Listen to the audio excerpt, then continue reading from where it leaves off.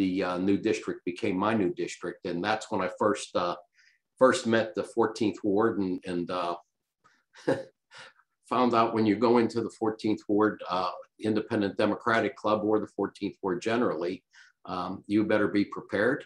Uh, and uh, it's not going to be just a social gathering. You're, you're there to be asked about the issues, be asked about where you stand.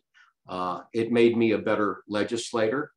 Having committees like yours uh, that, that aren't afraid to ask the tough questions and, and uh, have the dialogue. And I've always appreciated that.